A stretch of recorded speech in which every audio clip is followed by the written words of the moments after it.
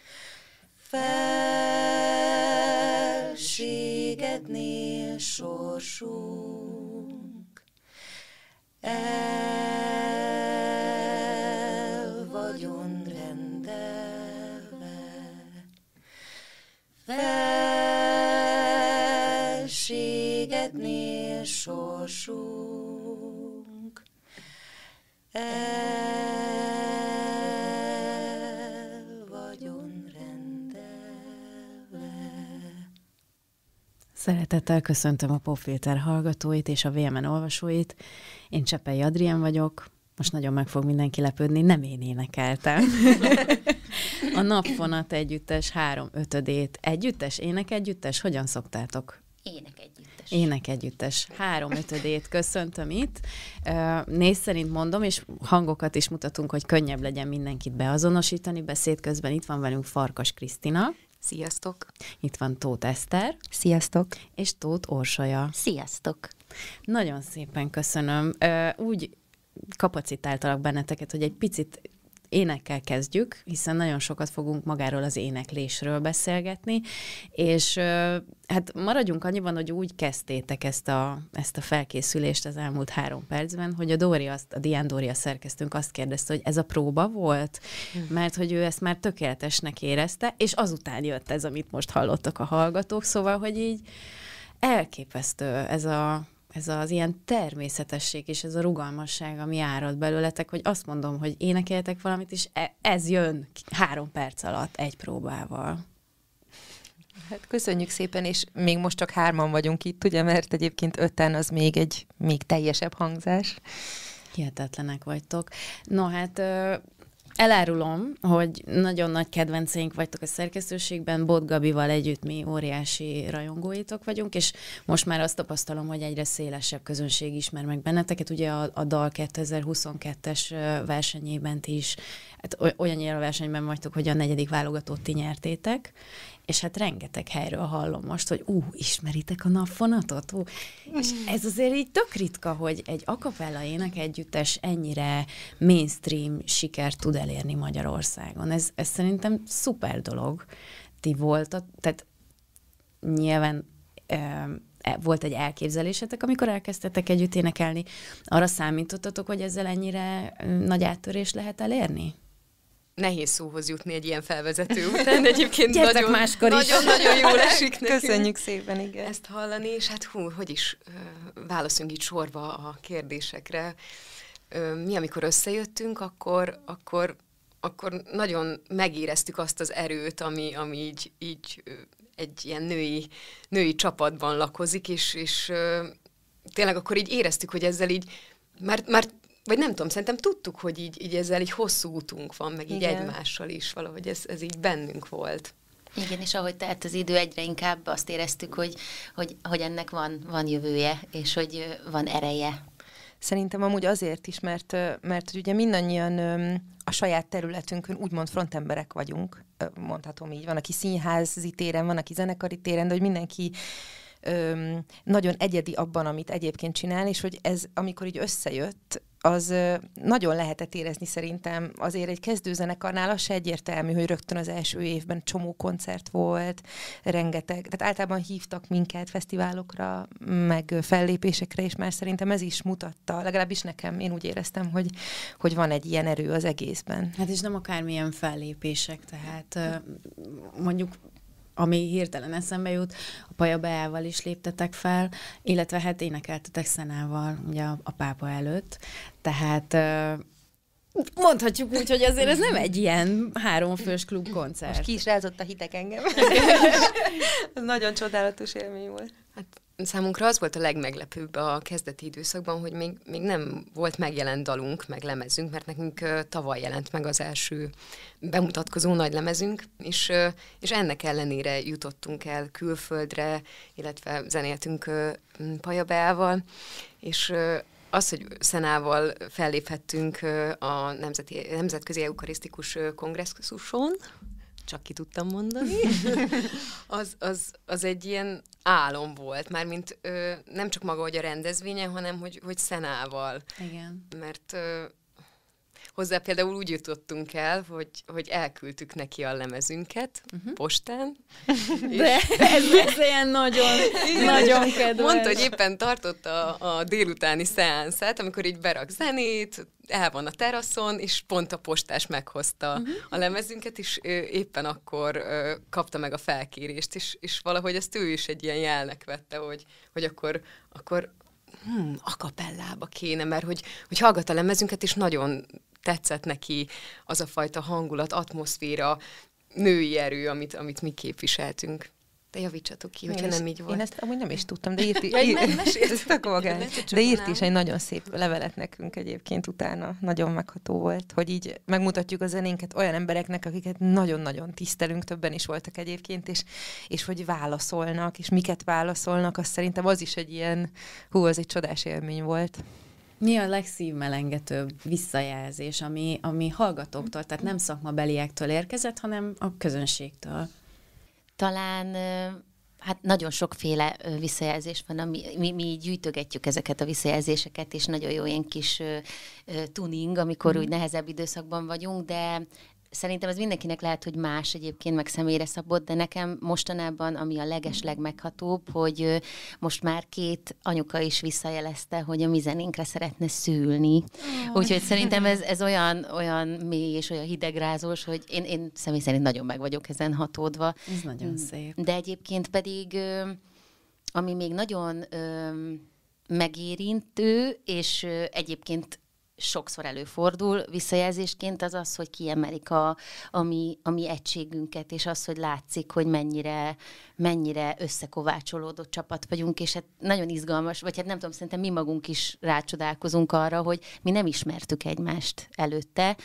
Szegről végről volt, aki ismert valakit, de hogy egyébként nem nagyon ismertük egymást, és ö, szerintem nagyon-nagyon ritka az, hogy öt nő, egy, egy... Ez egy irónia, ez, ez, ez irónia volt, majd mindjárt kifejtjük, hogy miért.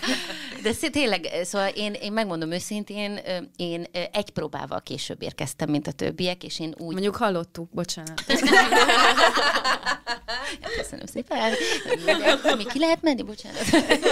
De hogy, de hogy én úgy, én, én megmondom őszintén, de ezt a lányok már úgy is tudják, hogy én úgy érkeztem, hogy én nem sok jövőt jósoltam ennek a dolognak. Én pedagógus vagyok, nagyon sok közösségben működtem már együtt nőkkel, és hát nem nagyon, vagy nagyon ritkán látok arra példát, hogy, hogy ez így jól működhet, úgyhogy én eleinte egy kicsit bizonytalan voltam ebbe, hogy ez jó ötlete, viszont nagyon-nagyon vágytam egy ilyen, ilyen csapatra, és Hát azért ne áruljunk zsákba macskát, szerintem megküzdöttük, amit meg kellett az elmúlt három évben, szóval azért nem egy ilyen ideális dolog, hogy összejöttünk és puff működött, hanem, hanem azért azért itt voltak, voltak küzdelmek, és volt, volt Hát meg mindig van is, szerintem ez, ez a hétköznapok része, hogy, hogyha egy működő zenekar az olyan, mint egy baráti társaság összefogva egy céggel. Uh-huh. Én így szoktam rá gondolni kb. és hogy ott van egy csomó konfliktusforrás, van egy csomó dolog, amiben nem értünk egyet, de demokrácia van, úgyhogy mindent igyekszünk úgy csinálni, hogy mindenki elégedett legyen. Végső esetben szavazunk, de általában ez nem szokott egyébként eljönni, mert mindig, mindig valahogy megtaláljuk uh-huh. így a közös megoldást.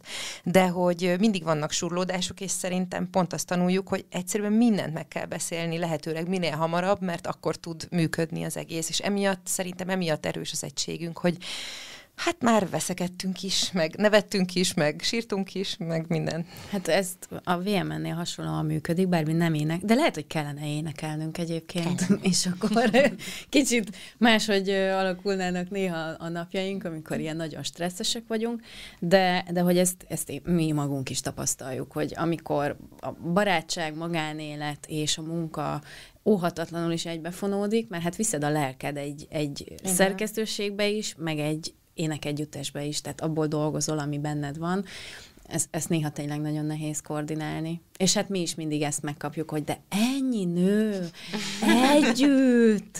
Hát én nem hiszem egyébként, hogy ez felhőtlenebb, hogyha sok pasi dolgozik együtt, csak valószínűleg máshogy működik, mások a dinamikák. Nagyon bólogat mindenki. Igen, igen. igen. nálunk szerintem ö, egyrészt ö, van ebben egy nagyon komoly fejlődési lehetőség ö, uh-huh. egyéni szinten is, önismereti szinten is, és ö, az a jó, hogy nekünk mind az ötünknek nagyon nagy igénye van erre, mert ez lehetne másképp is, és akkor általában ott jönnek azok a megoldhatatlan konfliktusok, ami, ami nehézé tesz egy ilyen együttműködést, de nálunk ö, én, én azt érzékelem, hogy nagyon-nagyon nagy utat tettünk meg együtt is, és külön-külön is, amire óriási nagy nagy hatással volt a napfonat, szóval ez az egyik. A másik, hogy bevállaljuk ezeket a konfliktusokat, és, és ebben is sokat fejlődtünk. Mm. És szerintem ez a titka, szóval nyilván senki nem képzeli azt, hogy együtt bármilyen nemű emberek együtt működnek, akkor ott nincs, nincsen ilyen, ilyen, ilyen történet, de hogy nálunk az van, hogy, hogy beleállunk, és ha kell, akkor most veszekszünk egyet, de aztán, aztán tudunk bocsánatot kérni, meg meg tudjuk hallgatni a másiknak mm. az oldalát, és van empátia, és ha ezek vannak, akkor olyan nagy baj azért nem lehet. És hát az éneklést azt nem véletlenül ö, szokták mondani, hogy szinte terápiás, sőt nem szinte, hanem gyakorlatilag is terápiás tud lenni bizonyos helyzetekben. Aki énekelt kórusban, az tudja, hogy, hogy ez valami egészen különleges élmény, amikor csomó teljesen különböző ember egy cél érdekében képes halkabban, hangosabban, mélyebben, magasabban énekelni, és hogy mind, én azt hiszem, hogy az a legfontosabb, amit megtanultam még az énekkaros időmben, hogy teljesen mindegy, hogy önmagában a szólamod az izgalmas, vagy nem, vagy szép, vagy csúnya, de hogy neked szereped van abban, hogy a végeredmény milyen, és fontos, ugyanolyan fontos a szereped, mint azé, aki a szólót énekli mm. például. Nektek mi a, a legfontosabb dolog, amit az éneklés tanított? Senki sem mondta, hogy Hú, hát könnyű hát ez lesz. Akkor ez, ez nagyon jó. Nagyon, nagyon. Nekem talán ez, amit az előbb is említettem, ez, a, ez az egymás megtartása, amit most te mm-hmm. is, te is ö, említettél, hogy, hogy minden alkotó elem nagyon fontos, ezt szoktuk így mondani, de, de ez tényleg így van. Ö, és ö, nekünk egyébként hát alapvetően az akapella műfaja is nagyon tanítja ezt, de a Dal című műsor aztán kifejezetten. Jaj. Tehát mi most, mi most nagyon-nagyon keményen dolgoztunk az elmúlt hetekben azon, hogy teljesen idegen körülmények között, nagyon furcsa akusztikus élmények mellett hogyan tudunk úgy szólni, hogy mindenki megszólaljon, mindenki oda menjen ahova, és, és nagyon szép harmóniában működjünk együtt. Úgyhogy nekem talán, én, hogyha valamit most kiemelnék, akkor most ezt emelném ki, hogy egyedül énekelni, az, az egy teljesen más műfaj, de így együtt, úgy, hogy mindenki fontosnak érezze magát, és, és úgy érezze, hogy számít, az, az, az egy nagyon érdekes dolog, és nagyon szép. Uh-huh.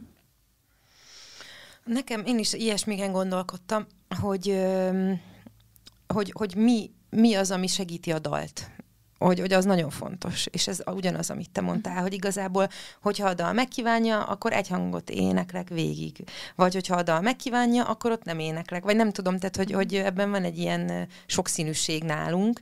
Egyébként meg az éneklés annyi mindent tanított, hogy ezen gondolkodtam közben, hogy nekem ez nagyon önismereti ö, kérdés is. Szerintem olyan, hogy azon gondolkodtam, hogy az éneklés olyan, mint az élet. Tényleg, hogy így folyik, folyik. És hogy, hogyha nagyon... Ö, nagyon-nagyon túl gondolod, akkor már nem úgy folyik, de az is fontos, hogy legyen egyfajta, egyfajta keret. Uh-huh. Én ezen gondolkodtam közben, de hát annyi mindent tudnék még mondani, hogy inkább mond Kriszti. Kriszti?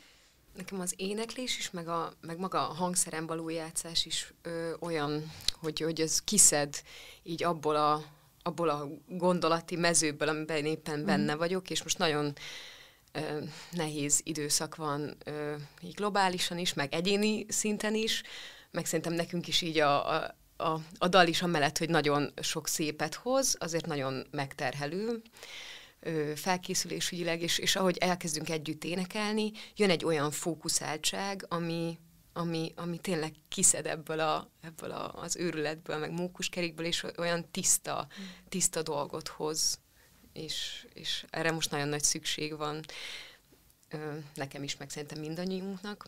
És ezt most tényleg a gyakorlásnál is észrevettem, hogy tegnap is gyakoroltam a dalt, és, és elénekeltem, nem tudom, 15-ször a szólamomat, és észrevettem, hogy már eltelt egy óra kávé, és fel sem tűnt, mm-hmm. és olyan, olyan jó, olyan meditatív egyébként, hogy, hogy, hogy nincsenek felesleges gondolatok, csak a, csak a dalra koncentrálni. Hát én nem, nem szülést tudok felhozni, mint ami, tehát amit a zenétekkel tervezek, nekem az az egyik uh, mentő, nem tudom, mentő eszközöm, amikor takarítanom kell, nagyon, na, mondjuk nagy takarítást, azt rendszeresen a ti tavalyi lemezetekkel szoktam Jaj, végezni, mert azt érzem, hogy közben töltődöm mindenkit megnyugtatok, hogy nem, nem énekeltem itt most a, a ti produkciótok alatt, de otthon szoktam, el, ezúton is elnézést a szomszédaimtól.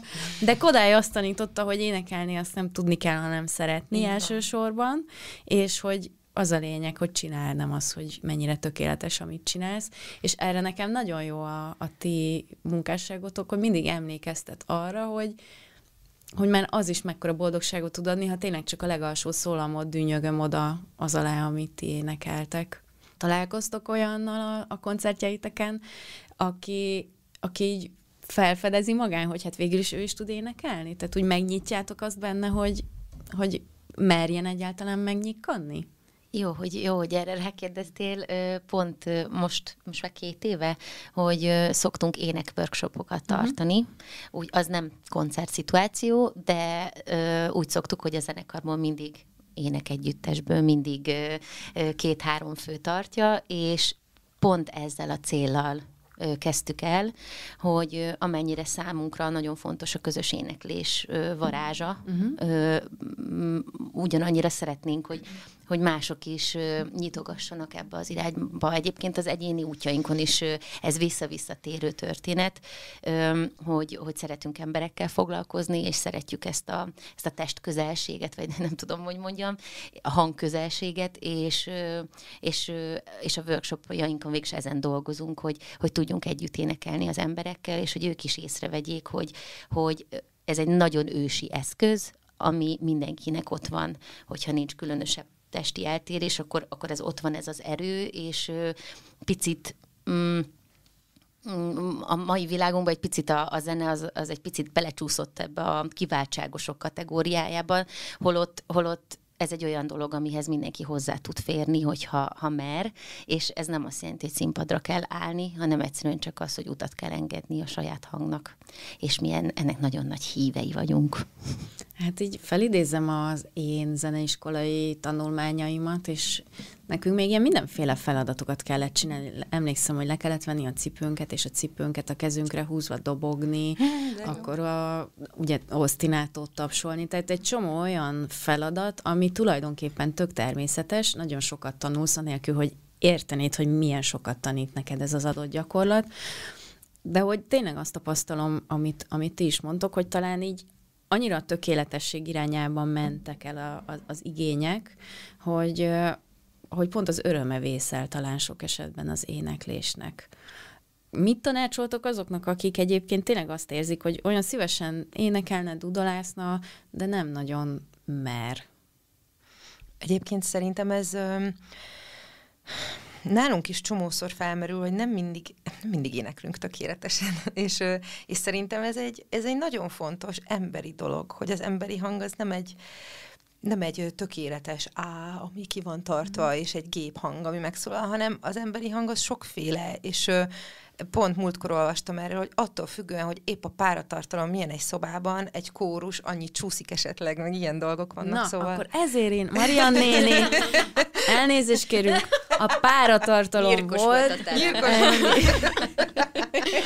De hogy ö, minden esetre szerintem nagyon-nagyon fontos ennek az öröméhez kapcsolódni. Szerintem az az egyik legfelemelőbb dolog a világon, amikor, amikor csak örömből tudunk énekelni, és ö, szerintem hajlamosak vagyunk mindannyian, pont ez, amit mondtam, ezek a keretek fontosak is, szerintem a fejlődés nagyon-nagyon fontos, és a tökéletesedés felé menni, viszont az is nagyon fontos, hogy ne folytsuk meg magunkat ezekkel a keretekkel, mert akkor nem lesz öröm, hanem egy kötelesség, és az már teljesen más.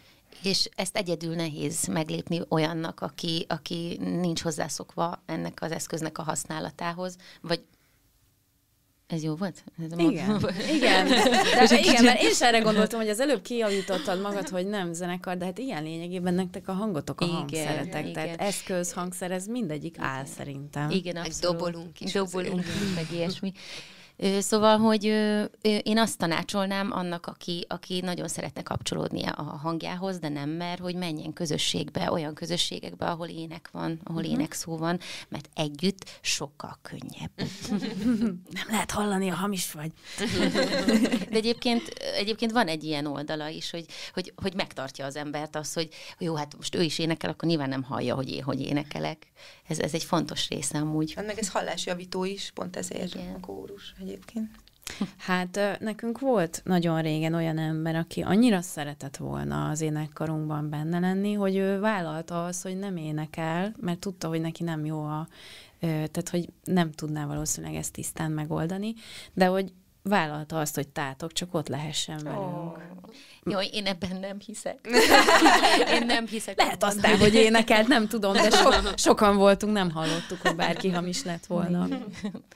Azt mondtátok, hogy meg nyilván, ahogy utána olvastam, hogy ki honnan érkezett, nagyon-nagyon sokszínű a zenei hátteretek. Azt szeretném kérni, hogy egyenként mondjátok el, hogy ki zeneileg honnan érkezik, miből érkezik, és hogy mi a, mi a legmeghatározóbb zenei első élményetek. Tehát az, ami ilyen nagyon mélyen lenyomatot hagy azon, amik, vagy akik ma vagytok zeneileg.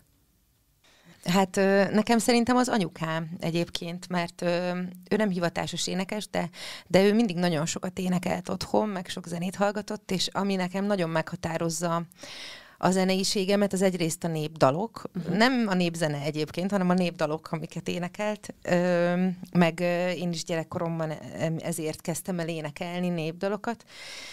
De egyébként ő nagyon sok írzenét hallgatott, és én imádom az írzenét, teljesen szerelmes vagyok belé, illetve valahogy ö, tehát ebbe az irányba is szerintem emiatt indultam el, hogy csomó világzenét hallgattam igazából már ilyen 16 évesen, ami tele volt mandolina, meg banjóval, meg ilyesmi, úgyhogy, úgyhogy nekem ezek a...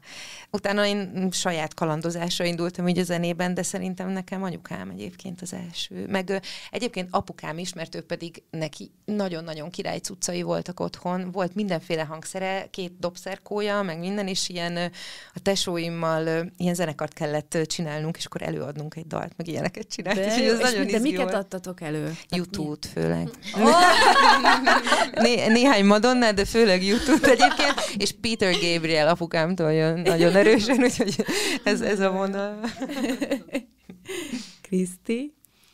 Én a Záhonyi Zeneiskolában kezdtem el ö, zenével foglalkozni, ö, ott zongoráztam, és ö, aztán, ö, aztán a könnyű zene 18 éves koromban szippantott be, pont az érettségi tájéken, amikor a bátyám alapított egy zenekart otthon Záhonyban, és és nagyon kézenfekvő volt, hogy vokalista csajnak engem hívjon, és, és akkor mondta nekem, hogy, hogy ne csak álljál a színpadon, legyen a kezedben valami, legalább egy csőr, csörgő vagy egy séker, és akkor egy séker egy ilyen kis piros tojás volt az első hangszerem.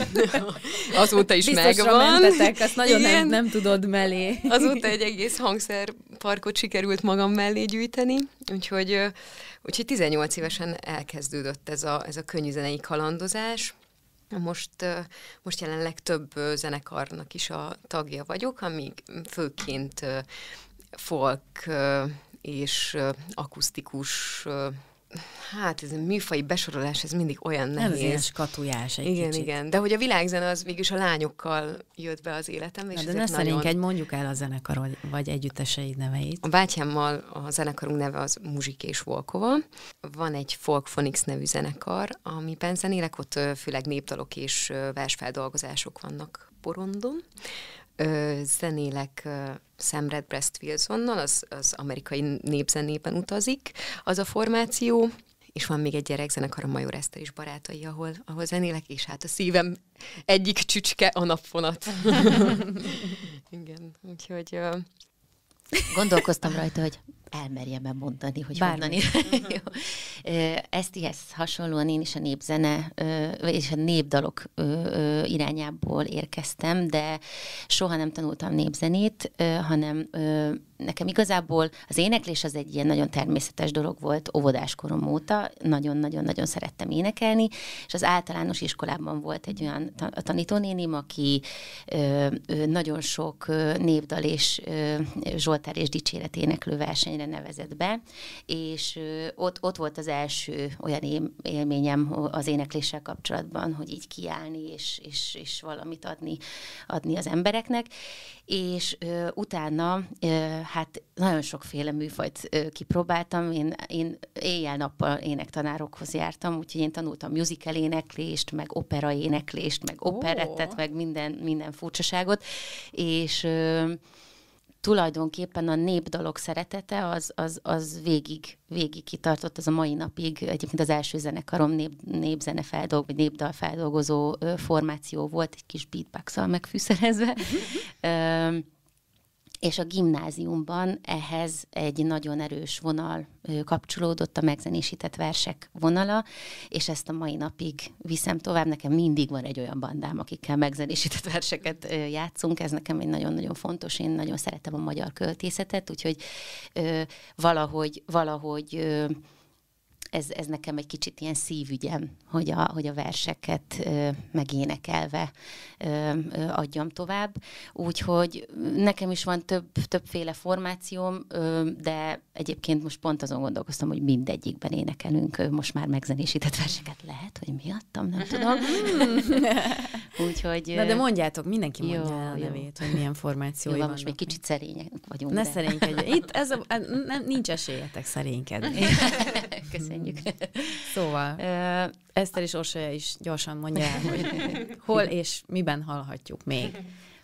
Az a banda, ahol, ahol ö, ö, mm, frontember vagyok, az a Lámpaláng, uh-huh. megzenésített versek egy az egybe, és vegytisztán, és ö, van a Zapszalma nevű ö, gyermekzenekar, ahol ö, énekesként és dalszerzőként munkálkodom, és Ö, van az Esztivel, aki itt ül mellettem, egy, egy duó formációnk, Szélcsend névre hallgat, és ö, tulajdonképpen ilyen hangfürdő, igefürdőket szoktunk csinálni időszakosan.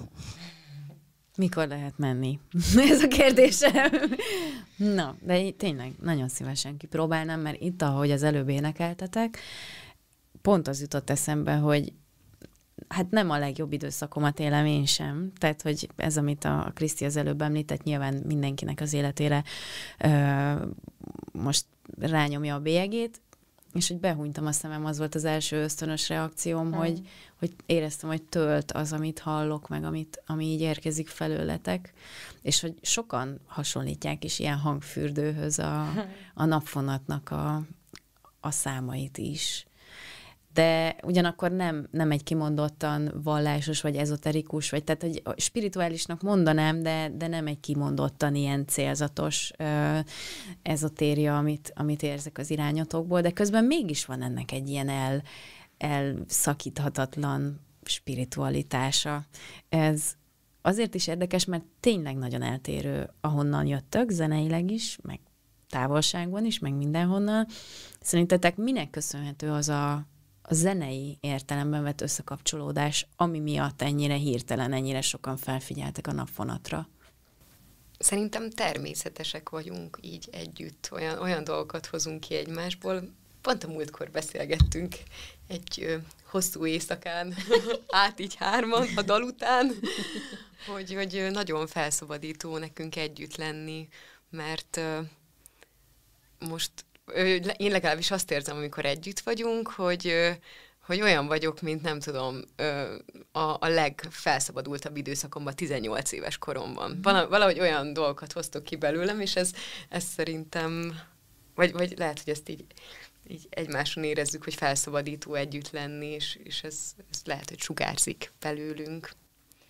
Én is azt gondolom, sokszor beszéltük már át ezt a témát, hogy mindannyiunknak vannak barátai, elég, elég szociális emberek vagyunk egyébként, de hogy egymásban azt találtuk meg, azt a közeget, ami, ahol, ahol minden oldalt fel lehet vállalni. Tehát mind, mind, olyanok vagyunk szerintem, amilyenek, amilyenek tényleg, és ennek minden pozitívumával és negatívumával, tényleg nem egy könnyű, könnyű dolog ez, viszont én, én, én, én csak erre tudok gondolni, hogy egyszerűen tényleg olyan, olyan annyira szeretünk együtt lenni, és barátilag, és annyira szeretünk együtt énekelni, uh-huh. hogy ez egyszerűen lejön a színpadról. Tudjátok, mi az érdekes, hogy nemrég járt itt az AVS, ugye szintén a, akik végigjárták a dalt, és egyébként hasonló az élményük nekik is, hogy belecsöppentek valamibe, ami teljesen más, mint amit addig csináltak, és ők ugyanezt fogalmazták meg, a, az együttes kapcsán is, hogy valószínűleg azért működik annyira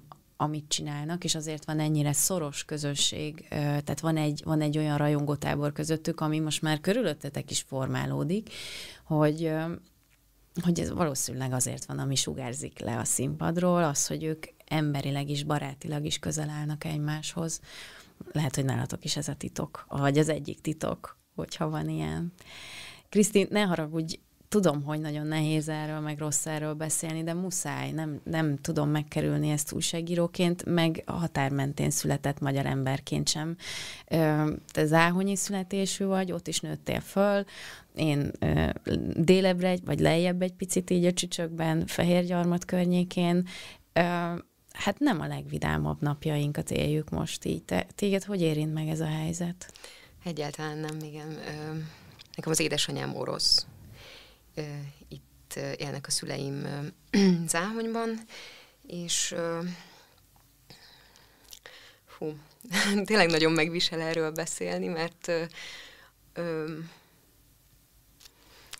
mm, megpróbálom összeszedni a gondolataimat, mert tényleg nagyon felzaklat. Én hát hasonlóan készültem erre a mm. beszélgetésre, szóval én ezt nagyon átérzem most.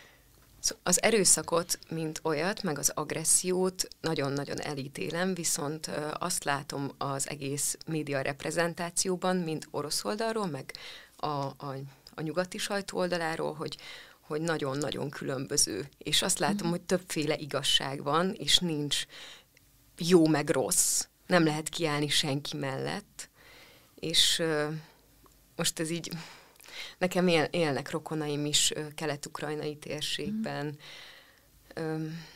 Szóval ez egy, ez egy nagyon nehéz helyzet, tényleg nem, nem lehet így igazságot tenni, csak amellett lehet letenni a voksunkat, hogy, a, hogy az erőszak elítélendő, és hogy a, a, a civil, civileknek segíteni kell, akik menekülnek ezekből a, mm, vagy Ukrajnából, az érintett térségekből velem csomószor feljött az a gondolat, hogy gyerekként, gyerekként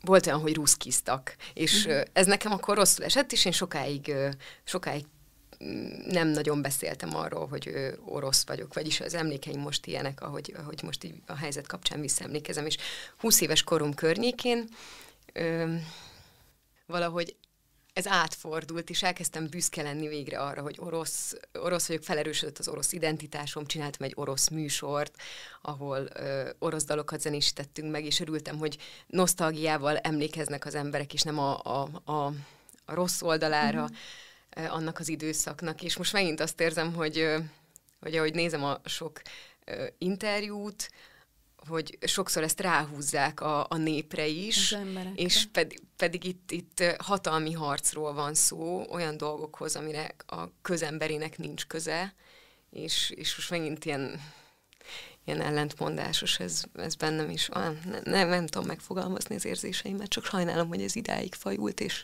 nagyon remélem, hogy ez meg fog oldódni durva kimenetel nélkül. Hát legyen így és nem is szeretnélek tovább kínozni ezzel, mert tudom, megérzem, hogy nagyon nehéz erről beszélni.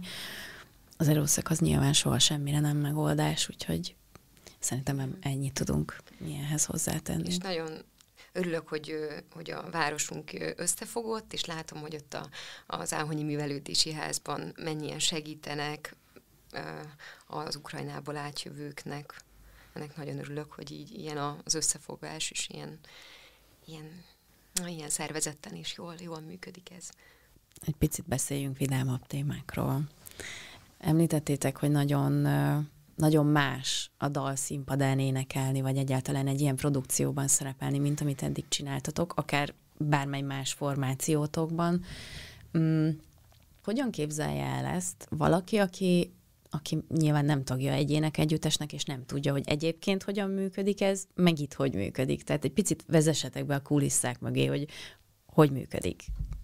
Szerintem egy koncerthelyzet teljesen más olyan szempontból, hogy főleg mi öten nagyon-nagyon arra támaszkodunk, hogy figyelünk egymásra. Szóval e- ezért is van egy ilyen különlegessége szerintem a zenénknek, amiről eddig is beszéltünk, mert hogy mindenki ott van nagyon erősen önmagaként, de közben van egy ilyen nagyon homogén egymásra figyelés, és ettől van egy ilyen, ilyen egységérzet talán, amiből néha kiemelkedik egy-egy hang, és ezt öm, sokkal könnyebben meg tudod tenni akkor, amikor most tényleg ilyen konkrétumok szintjén mondjuk fél körben állsz egy színpadon, vannak előtte monitorládák, tehát hogy végül is ez van a kulisszák mögött, és szemkontaktus például nagyon-nagyon fontos nálunk, mm. és a dal, meg a tévé máshogy működik olyan szempontból, hogy nem mindig látod a másikat, fülmonitort használsz, ami egy akapella zenekarnál van, aki ezt szereti, de van, aki kevésbé, attól függ, hogy milyen Bocsánat, a... egy, egy pillanatra azért állítalak meg, uh-huh. hogyha esetleg valaki nem, nem érti, uh-huh. vagy nem tudja, tehát a fülmonitor az az, amiben hallod saját magadat, és hallod a produkciót. Igen, ez be van dugva a füledbe, viszont sokkal, tehát sokkal kevésbé van térérzeted benne. Uh-huh.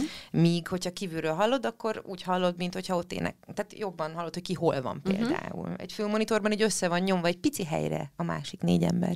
Meg, meg, a, meg a saját hangodat is teljesen más uh-huh. érzékelni, mert olyan érzés, mint hogyha befognád a füled, akkor ugye, ugye alapvetően, amikor beszélünk vagy énekelünk, akkor belül is zeng, de kintről is hallod saját magad. Uh-huh. De ha befogod a füled, akkor egy ilyen tompaságot hallasz, na ezt be kell dugni az agyadig, ezt a, ezt a füles, tehát olyan, mintha befognád, hallnád, és onnan jön a te hangod is kristálytisztán, amit a mikrofon vesz, viszont nincs meg az a, az a tere, nincs meg a rezgése, hanem olyan, mintha valaki más énekelné a te hangodon. hallanád, igen. És ezt, mire mi megszoktuk, vagy hát van, van olyan közöttünk, aki szokott fülmonitorral énekelni, mm, de, de nem a kapellában. De nem a kapellában, és, és azért többségünk nem szokott, és hát ez nagyon kemény küzdelem volt, meg az, hogy tényleg nagyon nem mindegy, hogy milyenek az arányok, hogy ki, hogyan kérsz be a füledbe, amikor természetesen énekelünk, és egyébként szerintem nagyon szép volt ez a, az első dalos megmérettetésünk, mert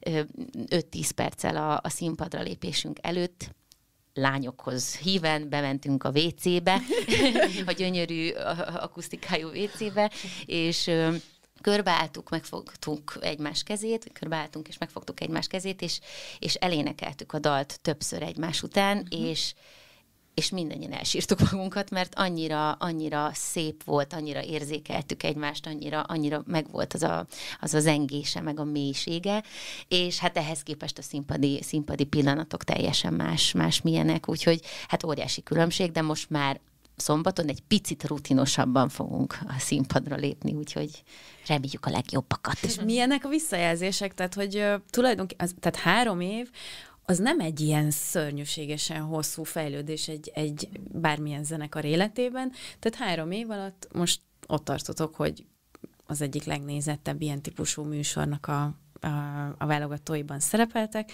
Tehát az, aki egyébként mondjuk nem jut el klubkoncertekre, vagy nem követi a, a könnyűzenét, most most lát benneteket képernyőn egyenes adásban, mi a visszajelzés? Tehát mi, milyen mondjuk nem tudom, ilyenkor mindig nagymamám jut eszembe, aki mindig megnézett a tévében, amikor nem volt lottósorsolás, mert akkor, akkor a lottósorsolást nézte, de hogy mi, milyen visszajelzések, milyen visszacsatolások érkeznek hozzátok? Nagyon sok kedves üzenetet kapunk, mióta szerepeltünk a műsorban, és Hát nagyon meg vagyunk hatva. Hát már e, kezdjük az első visszajelzéssel a, a zsűri ö, ö, hozzászólásaival én többször visszanéztem azóta a műsort, mert, mert nagyon viccesnek találom, hogy, hogy melyikünk hogyan reagált a, a, a tízesekre, és nem is a pontszám amúgy, hanem inkább az, hogy mindannyiuk visszajelzéséből azt éreztük, hogy tényleg van igény az mhm. ilyen típusú zenére, és nekünk végül is ez a legfontosabb. És ha 20 pontot kaptunk volna, de ennyire sokat ad nekik, már ak- tehát szerintem már akkor is elértük azt, ami, amiért mentünk, most nyilván nagyon örülünk a 40-nek, de hogy, de hogy mi nagyon szerettük volna azt, hogy, az, hogy kiderüljön, hogy tényleg van-e igény erre a zenére, és, és azóta nagyon sok, sok, nagyon sok helyről kapjuk meg, hogy ez, ez, ez nagyon fontos. Hát, bevillant az a kép, amit Eszti kiszcreenshatolt rólunk. Bekarikázott hármunkat, amikor így hárman így sírunk. És így sírunk ugye az él élőadásban. Este nyolckor. Egy irányba nézzük. Nagyon Igen, egy, minden tízes után egyre inkább lefordult az ajkunk. És sírtunk. Én csak azt akartam mondani, hogy olyan érdekes, hogy a tévének még mindig van egy olyan hatása, hogy azok a rokonaim, akikről soha nem hallok, felhívják egymást, hogy úristen, ott van a tévében is, hogy ugye már a legtöbben online nézzük, mert már nincs is tévénk, de hogy, de hogy milyen érdekes, hogy ez még mindig a, számít annak, aki azt mondjuk nem érti, hogy mennyit küzdesz, hogy megszervezd azokat a koncerteket, de ha ott vagy a tévében, akkor hirtelen úgy megérkezik mindenkihez, hogy úristen, ez egy siker. Igen. És ez egyrészt fura, másrészt, de hogy inkább nagyon jól esik nyilván, mert hogy egyszerűen annyira sokan írnak olyanok, akik egyébként nem feltétlenül, hogy, hogy tényleg olyan érzés, hogy így felrobbant hirtelen egyébként egy kicsit így az internet, meg nagyon sokan megnézték a videókat. Esztikéknek Kóspallagon ott Jaj, élnek. Most tényleg. szurkolást szerveznek szombatra, és Igen, van plakát. És plakátot is készítettek, hogy együtt szurkoljanak nekünk az elődöntőt. Na, ezen sírtam például. Hát ezek nagyon szép dolgok, és látjátok, hogy még így, ilyen értelemben is milyen közösségformáló ereje van ennek, amit csinál már, mint magának az éneklésnek. Olvasok most egy könyvet, és azért van itt kinyitva előttem, Vékony Zolinak a Zenei Most című könyve, és nagyon sokféle szempontból járja körbe az éneklés zenélést, és hoztam egy pár részletet belőle, mert szerintem ez nagyon érdekes. Egy csomó olyan, amit kézenfekvő, de valójában nem tudtad. Az éneklés javítja az alvás minőségét. Az éneklés miatt erősödnek a garatizmok is, emiatt lényegesen kevesebb énekes szenved a horkolástól. Vagy inkább a párja. Illetve alvási apnoétól. Ezt például nem tudtam. Éneklés közben, ezt tudtam, mert erről beszéltetek már ti is a Weyer Balázsral, amikor a hangvető podcastben voltatok, hogy a szervezet endorfint és oxitocin termel, ami másképpen a stresszoldó hormon, és hát ugye a kapcsolódást, a, a hmm. kötődést is elősegíti, tehát nem csak boldogabb leszel, hogyha mondjuk autóvezetés közben hangosan énekelsz, hanem még edzed is a tested. És az éneklés, képzeljétek el, fokozza az immunrendszer működését, oh, a Frankfurti Egyetemen végzett kutatás szerint profi kórustagok vérét elemezték egy egyórás próba előtt és után. A legtöbb esetben az immunrendszerben az antitestként funkcionáló immunglobulin A néven ismert fehérje mennyisége közvetlenül a próba után jelentősen magasabb volt. Na, hát Ez nagyon a gyógymód, egy csomó. Azért a Covid így is letarolt. hát de képzeljétek, mi lett volna, hogyha nem énekelnénk. Viszont a horkolást ezt tényleg cáfolnánk. A barátom énekes gitáros, de azért... De hogy tényleg mennyi erős hatás, vagy milyen erős hatása van, és hogy, hogy mennyire elszakadtunk azért a hétköznapokban az énekléstől. Én egyébként én ezen csomót gondolkodtam, hogy, hogy tényleg ahhoz kötődött az éneklés korábban, hogy bizonyos öm, időkhöz, szert, tehát szertartásokhoz, ugye az évszakok váltakozás, tehát végülis az ünnepekhez, úgymond én néprajzra jártam, és nagyon szerettem ezt a részt, és, és most tényleg az, hogy felrakunk valakit egy színpadra, és akkor csodáljuk, és mennyire más ez, és szerintem mi pont azok vagyunk, akik ezt igyekszünk tágítani, hogy a, szerintem tényleg úgy érződik a koncertjeinken, hogy, hogy ott van velünk a közönség egy, egy közösségben, és szerintem mindannyian nagyon szeretjük ezt az élményt, mert nagyon sokat tud adni az, amikor nem azt érzed, hogy te vagy fenn és ők lenn, hanem valahogy így egyben van az egész. Szerintem ezt tök jó visszahozni a mai világba. Uh-huh. És ez a közösségek felbomlásával is együtt jár szerintem, tehát régen azért is énekeltek, meg meséltek nagyon sokat, mert mindig összeültek, és akkor együtt, a, a mai világban ez már nagyon ritka, sajnos, és hogy ö, valóban így, így az éneklés és a zenélés, a közös, közös mullatás is egy picit így ö, kiszorult.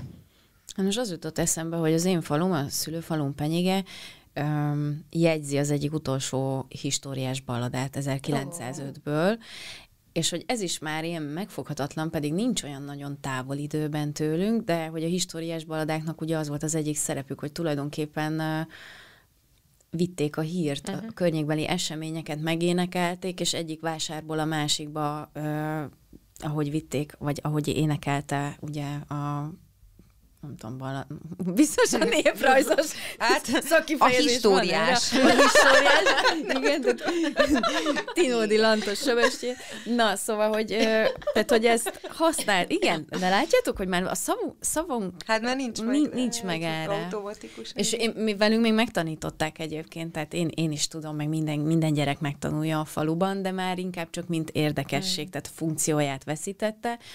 És egy, egy picit azt láttam az elmúlt két-három évben, vagy kettő, nem tudom, hol tartunk most, mert már a Covid is kicsit ilyen múlt idővé alakult, pedig sajnos nem múlt idő, de hogy mindig jön valami, ami, ami még annál is borzalmasabb, hogy, hogy mintha ezt hozta volna az elmúlt időszak magával, hogy egy picit még jobban igényeljük a kapcsolódást egymáshoz, és hogy hogy a művészek pedig sokkal szabadabban osztottak meg rögtön valamit, ami hmm. megszületett a fejükben, akár élőben énekeltek, akár, tehát hogy persze online történt minden, de hogy közben mégis, mint egy picit így visszafelé fordultunk volna.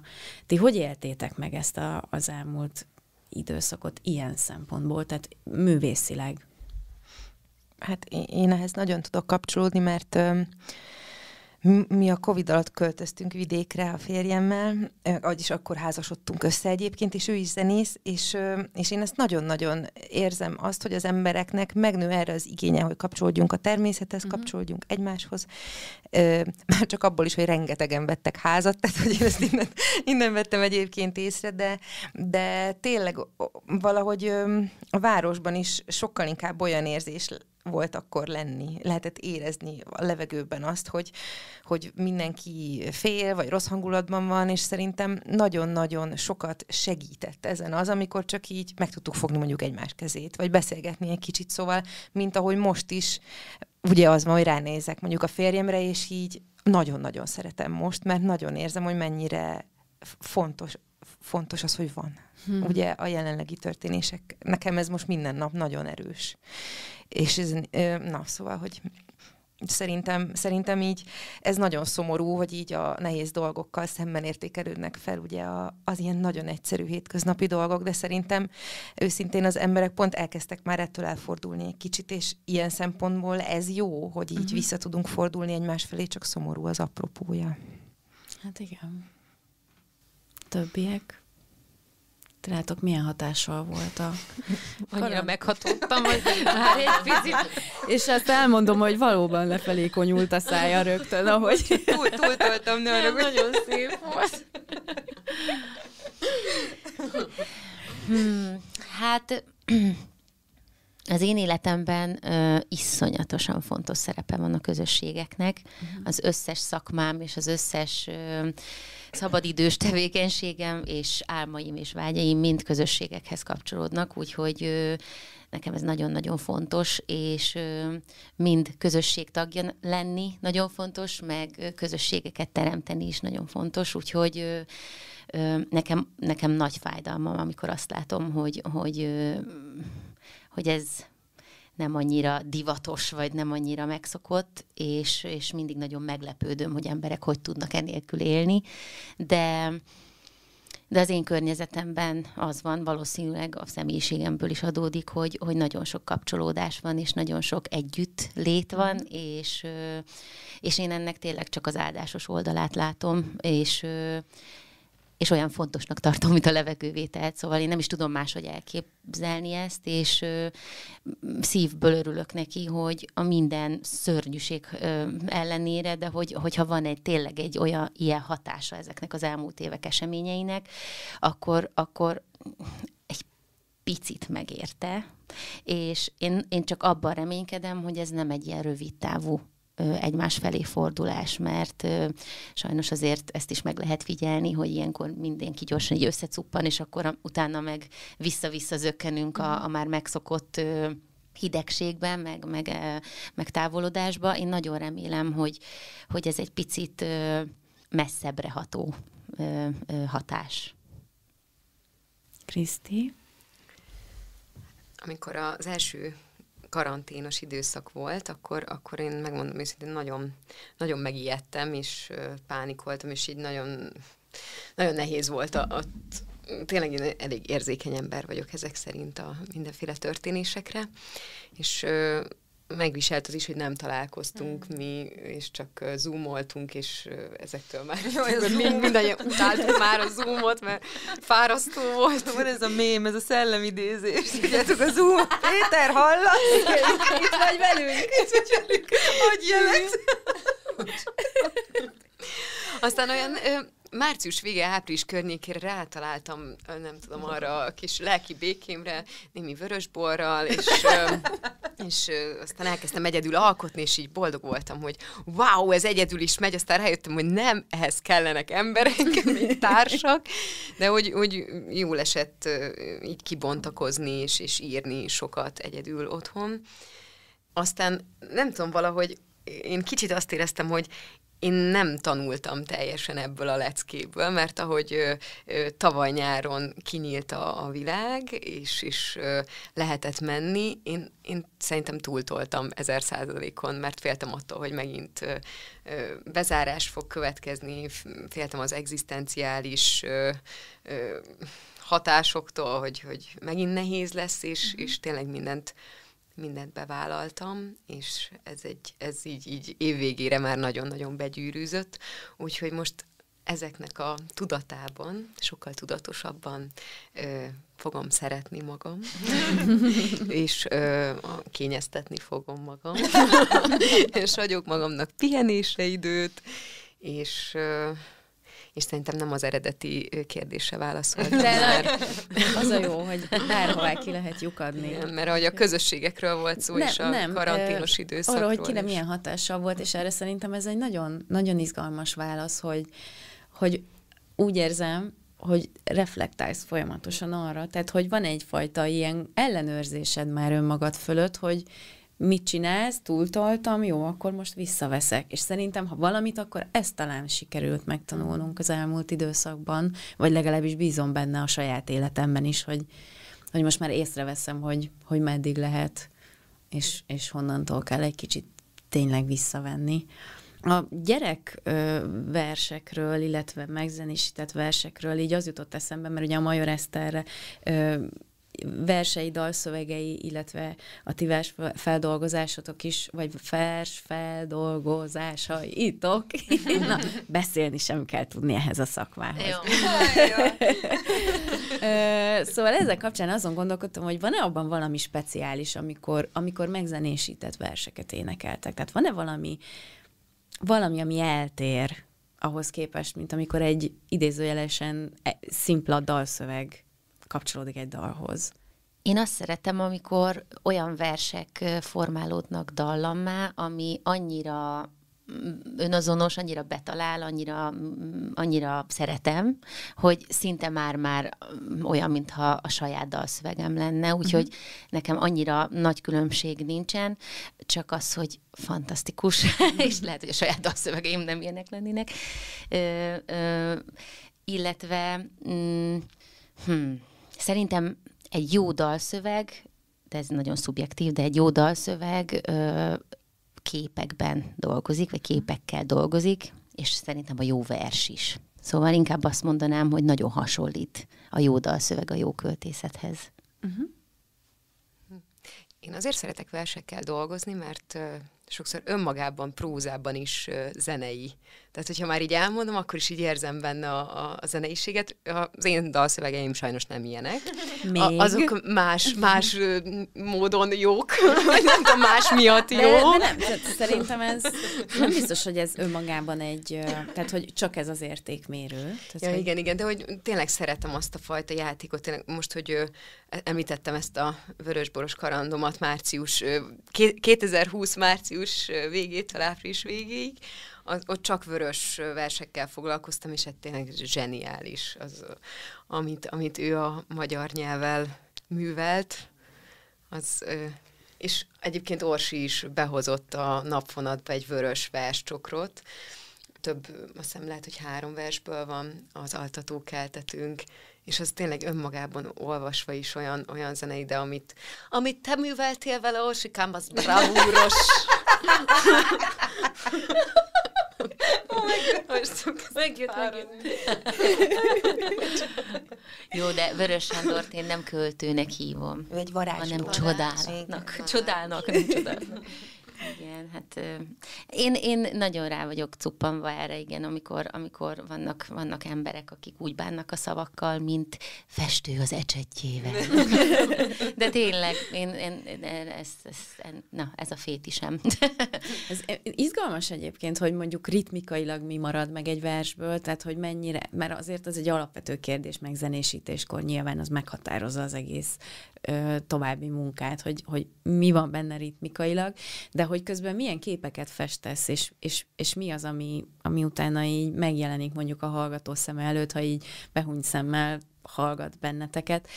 Van olyan dalotok, ami, aminek van valamilyen, vagy amihez kapcsolódik számotokra valamilyen különleges kép, mm. amit elképzeltek, amikor énekeli, éneklitek, énekelitek? Mind a kettő jó.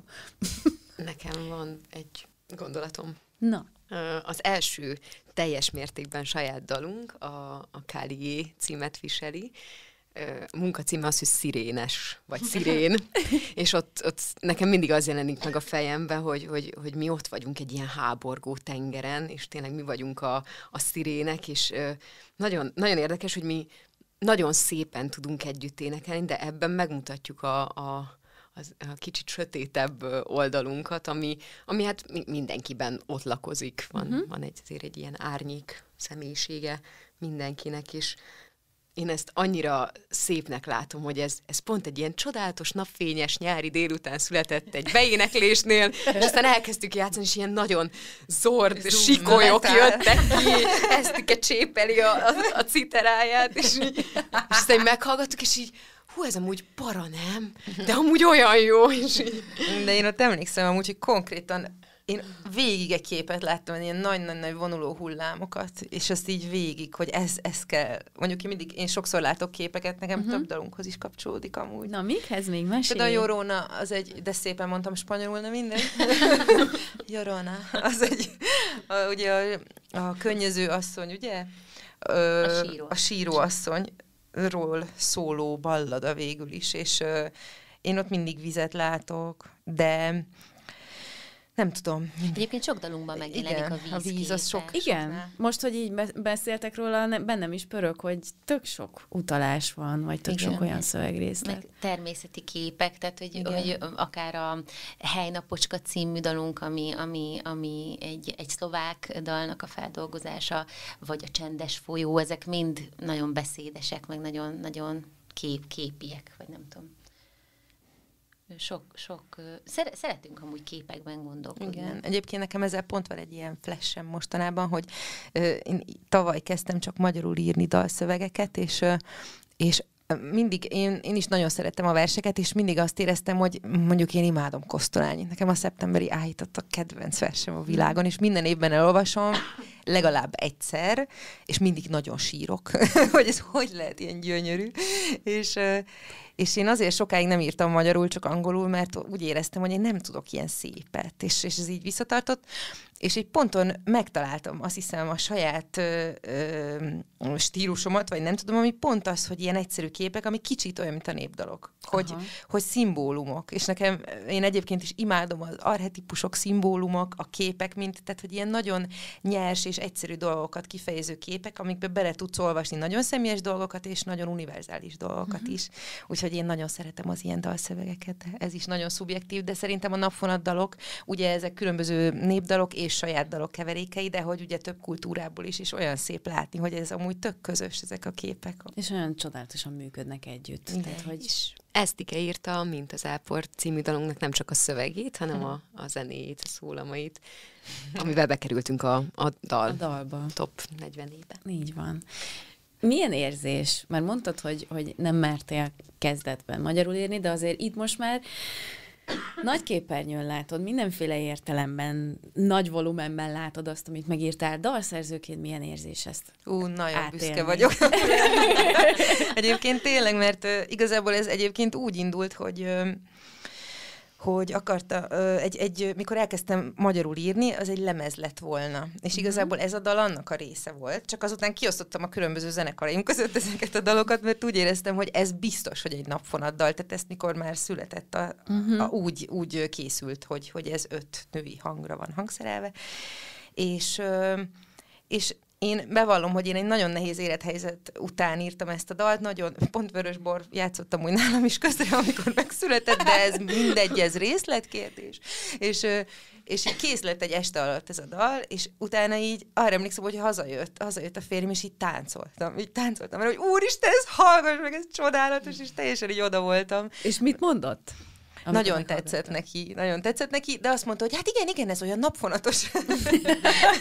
hát, hogy, így, hogy úgy felismerte, hogy ez az a, az a vonal, és és mert valahogy én ezt nagyon örülök, hogy megírtam, de hogy olyan könnyen úgy kész lett, hogy nem is ilyen személyesnek tekintettem, csak hogy úristen, de jó, hogy egy ilyen jó... Ez így kiszakadt így, Igen, igen, igen. Aha.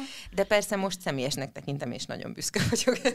nagyon szép egyébként látni, hogy sokan szeretik meg, hogy, meg, hogy hogy mi szeretjük, én inkább erre figyelek uh-huh. egyébként, hogy, hogy mi, mi nagyon szeretjük, és az jó érzés. És hogy néz ki a gyakorlatban? Valaki jön egy uh, dalötlettel, vagy akár egy, egy kézdalszöveggel, és egy dallamötlettel, és tehát hogy van ez? Ő maga megírja a szólomokat, vagy ti összeültök és összerakjátok, hogy akkor kinek mi a legoptimálisabb?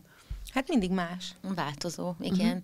Ez, ez a dal, ez úgy született, hogy ö, Eszti berakta a közösbe, ö, volt már több szólam is hozzá, azonnal beleszerettünk, nem csodálom. és ö, utána nyilván formáltuk, meg kiegészítettük plusz szólamokkal, most különösen, ahogy a dalra készültünk, most nagyon sokféleképpen kipróbáltuk. Ö, volt olyan dalunk, amit, ahogy Kriszt is említette az előbb, amit ö, mindenki sejtjében együtt írtunk, ö, de van olyan dalunk, amikor csak egy alapdallam születik. Volt olyan, mi szeretünk ilyen alkotó hétvégékre elvonulni, uh-huh. ezt mindig elmondjuk, de nagyon fontos része a közös alkotói munkánknak, és akkor szeretünk így két-három napot együtt tölteni valami szép, szép helyen, és ö, csináltunk olyat, hogy vittünk magunkkal versszövegeket, és akkor egy kicsit ilyen, tényleg ilyen tábori feeling volt, hogy na akkor most mindenki kap 10-15 percet, vonuljon el a számára kedves helyre, és válasszon ki egy szöveget, és arra hozzon egy dalötletet, és akkor vannak már ilyen dalmagvacskáink is, amik így születtek, hogy, hogy, hogy egy valaki hozott egy kis alapdallamot, és akkor elkezdtünk vele dolgozni, és közösen formáltuk meg. Szóval mindenre van. Igen, vagy egy-egy névdalt hozott valaki, uh-huh. és mhm. akkor azt mondjuk például Kriszti hozott egy orosz dalt, azt összefűztük egy magyar népdallal, Henny hozott szlovák dalt, abba raktunk karibi ritmusokat, szóval, hogy így keverjük a dolgokat. Mindent lehet mindennel? Hát ö, szerintem nem tudom, én abban bízom, meg én azt látom, hogy, hogy nekünk van egy ilyen alapízlésbeli ö, uh-huh. vonalunk, nem tudom, amikor azt érezzük, hogy valami tiszta és természetes és szép, az fontos, de egyébként elvek mentén, el, elveink úgymond ebben nincsenek, vagy szabályaink. Elvtelenül. Elvtelenek vagyunk, de, hogy, de, de azért szerintem nagyon odafigyelünk. A, vagy nem tudom, szeren, szerencsére szerintem közös ebben a, a közös metszetünk van, ami megmondja, hogy mi a szép, nem? Én örülök neki, hogy nem autentikus népzenében utazunk, mert így, így nagyobb a szabadság, meg az újraértelmezés, meg, meg hogy nem vagyunk népdalénekesek alapvetően. Úgyhogy, És valószínűleg sokak számára könnyebb is a kapcsolódás. Tehát én a napfonatot egy picit úgy is látom, mint egy lehetséges ilyen, bocsánat, kapudrog. a népzené? Igen, akár. Vagy a világzenéhez. Igen, tudtam, hogy ez a legoptimálisabb kifejezés. De hogy tényleg, mert, mert, és akkor nyilván nem kell hozzá akár Spotify algoritmus sem, hogy dobálja fel akkor a, a következőt, és a következőt, és, a következőt, és akkor eljutsz akár a tényleg autentikus népzenéig, de hogy azért azt gondolom, hogy ma egy, akár egy nagyvárosi, akár egy, nem tudom, bármilyen életet élő ember számára nem feltétlenül egyértelmű a kapcsolódás a népzenével, vagy nincs meg az inger egyáltalán, hogy elkezdjen azt keresgetni valamelyik streaming szolgáltatónál, és a napfonat nagyon-nagyon könnyen ö, rá lehet kattani, mondom, kapudról, viszont vezet tovább. Tehát, hogy ez tényleg úgy De ugye? Most már Köszönjük szépen egyébként, ez nagyon jó, mert szerintem nekünk is fontos, hogy mi tényleg egyébként nem vagyunk alapvetően, úgymond mindig azt mondom, hogy hivatásos névzenészek, és erre így rá szoktak kérdezni, de hát az mi? De ilyen szerintem van egyébként. Sokkal határozottabb keretek vannak, sokkal határozottabb szabályok, és, uh-huh. és ez teljesen rendjén is van. Viszont mi meg nagyon-nagyon élvezzük azt, hogy végül is annyi helyről jövünk, könnyű zenéből, világzenéből, megzenésített versekből, színházból, rengeteg uh, impulzus is ér minket, és mi az, az ének meg a, a zene e, erejét ünnepeljük ezekkel a dalokkal. És hogy ebbe belefér igazából minden, azokon a határokon belül, hogy a dal legyen az első, és ne mi, vagy hogy is uh-huh. mondja. Mi nem népdal énekesek vagyunk, hanem népdal szerető énekesek vagyunk, uh-huh. és szeretjük ezt felhasználni a, a közös zenélésben. Na és mi a helyzet a hangszerekkel? Elsősorban ütőhangszerekkel szoktatok dolgozni. Mm, arra vagyok elsősorban kíváncsi, hogy hogy uh, hogyan találjátok ki, hogy melyik dalhoz mi illik, és uh, hogy, hogy hogyan kísérleteztek egyénileg, akár a hangszerekkel. Hát, ütjük a dobot. Aztán, ami, ami sikerül. Tudatosság című rovatunkat hallották, kedves hallgatóim?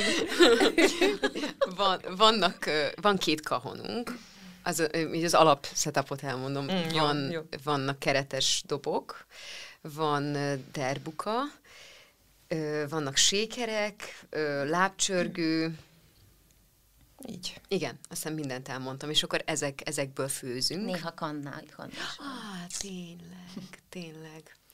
De, de abszolút nyitottak vagyunk arra, hogy, hogy egyre több dolgot bevonjunk, szóval nagyon szeretjük azt, hogy, hogy nagyon sok dalunk a kapella, azt uh-huh. is mhm. szeretjük, hogy nagyon sok dalunkban van ütő hangszer, tehát nem akarunk teljesen a kapellára nem akarjuk odasorolni teljesen magunkat, mert például van egy adventi műsorunk, ahol hangszerekkel egészültünk ki, úgyhogy bejön az írbuzuki, mm. Eszti által, az írfúrúja, Orsi által, meg fuvola is, zongora, Citera. gitár, úgyhogy Úgyhogy mi nyitottak vagyunk így a hangszeres kalandozásokra is. Hát meg egymás között azért játszunk néhány hangszeren, úgy öten együtt már. igen, most így felsoroltuk a kapásból vagy tizet. Igen, és akkor gondolom, hogy itt is az a, az a szempont, hogy, hogy mi az, ami szolgálja a végeredményt, meg mi az, ami illeszkedik bele, és nem az, hogy nem tudom, tehát ne, ne a Carnegie fellépésre gondoljunk, hanem hogy, hogy az élvezeti értéke a hangszeres játéknak is, ugye? Ezt jól érzem. Szerintem a karácsonyi műsorunkban egyszerűen szerelmesek vagyunk, én nem tudom, ott valahogy, valahogy egyszer, nem, nem akartunk egy ilyen adventi műsort csinálni, és mindenki hozott dalokat, és annyira szép dalok vannak bennük, hogy ott is az volt, hogy jaj, ez annyira gyönyörű gitárral, legyen benne az, vagy jaj, az a zongora, és igen, végül is így annyira szépnek találtuk láttuk azt, hogy meg, meg annyira üdítő volt kipróbálni magunkat együtt ebben is, hogy szerintem igen, ez így, így jött. Ott is van egyébként teljesen a kapella dal, de ez egy újdonság volt. Talán ez az utolsó egyébként, ami megmaradt így a, a, a szélesebb közönségnél is, hogy mondjuk a, ha máskor nem, akkor szenteste talán még azok is szoktak énekelni, akik egyébként nem. Tehát, hogy ha más nem, akkor a gyerekek valamit a karácsonyfa alatt énekelnek. Talán tényleg ez az utolsó ilyen közösségi éneklős kapcsunk, és, és valószínűleg ezért is van ennyire sok énekünk, ami, ami fennmaradt, vagy olyan karácsonyi adventi dalunk. De érdekes egyébként, mert most esik a hó kint, miközben beszélgetünk, és közben mindjárt március van, de hogy hirtelen olyan, olyan karácsonyi hangulatba kerültem, ahogy erről meséltek, hogy ennek biztos van még egy ilyen plusz rétege is, hogy, hogy a közönség is nyilván azért tud ezekhez ennyire jól kapcsolódni. Na és mi a, mi a további? Ez, ez ilyen megúszós kérdés szokott lenni, de esetetekben azért ez nem egy megúszós kérdés, hogy hogyan tovább, mert hogy volt egy ilyen nagy kvantumugrás az elmúlt, nem tudom, fél évben, egy évben, hogy most mi a terv? Nagyon-nagyon sok tervünk van. Most pont arról beszélgettünk az elmúlt napokban, hogy hogy fog ez beleférni a következő. Hogy, hogy, hogy fog ez? A következő tíz hónapban. Igen. Igen. Hát megnézzük, mi lesz a dallal. Az uh-huh. egyébként egy csomó mindent el fog dönteni, vagy hát sok mindent hozzáad a következő évünkhöz. Mert most, amikor a felvétel zajlik, akkor éppen a, az elődöntő előtt állunk. Igen. Ja, Így nem van. tudom, hogy Igen. Fog... A, mire ez már adásba kerül, már fogjuk tudni, de most még nem tudjuk, hogy mi lesz. Szurkolunk. Köszönjük. Hát ö, idén olyan szerencsés helyzetbe kerültünk, hogy NK pályázatokon nyertünk támogatást, úgyhogy úgy néz ki, hogy a következő évben lehet, hogy elkészül ez a karácsonyi lemez, hmm. Úgyhogy ez lesz az egyik legnagyobb projektünk a következő évben, illetve más lehetőségeink vannak, meg most már felfel ütötte a fejét jó sok fesztivál meghívás, úgyhogy szerintem nyáron sem fogunk unatkozni, de ami, ami, ami nagyon fontos, hogy, hogy sokat fogunk alkotni, sok-sok új dal lesz.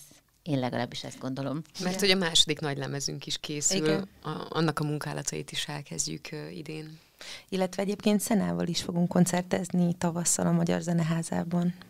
Nagyon jó, hát Szene nekünk tulajdonképpen kollégánk, tehát volt uh, videósorozata nálunk, úgyhogy nagy rajongói vagyunk mindannyian. Ott fogunk csápolni nektek. Nagyon szépen köszönöm a Napfonat együttes, ének együttes tagjainak, Tóth Orsolyának, Tóth Eszternek és Farkas Krisztinának, hogy itt volt velünk. Köszönjük, köszönjük, köszönjük. Szurkolunk nektek, és azt kívánom, hogyha legközelebb jöttek a popfilterbe, akkor már csupa-csupa vidám témáról kelljen beszélnünk, és és hogy akkor már nem, nem tudom, hova van tovább nektek, tehát ö, nem tudom, meg tudtok-e tölteni mondjuk egy éven belül egy sportarénát, vagy bármi, de egyébként nagyon izgalmas kérdés, hogy mekkora mekkora tér van, mekkora lehetőség van egy akapella együttes előtt, úgyhogy én ezt külön ilyen iparági izgalommal figyelem, hogy, hogy, hogy ez meddig megy, mert szerintem ez nagyon-nagyon izgalmas, hogy, hogy mi van még ebben. Szurkolok, hogy sok legyen, minél több, és aréna, és nagy színpad, és minden. Köszönjük, köszönjük. Köszönjük szépen.